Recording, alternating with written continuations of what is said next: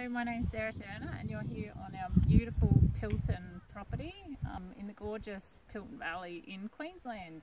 This, as you can see, is what our property looks like after the amazing Enrich program has been here. So two years ago this was just a weed infested block, uh, nothing was growing, there was no trees, uh, no wildlife, it, it was actually quite depressing.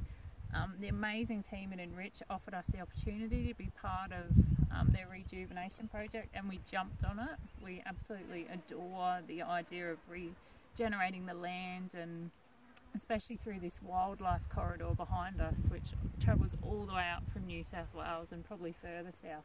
So we really were so excited to get involved and the whole process was just beautiful from the planting of the trees and learning about the trees, um, learning about the weeds that infested our ground, um, fire plants. It just, it was all encompassing. The people were gorgeous and as you can see, we now have all these amazing grasses and trees on our block. So we just, we couldn't be thankful enough for everything the Enrich program have done for our lovely little slice of paradise.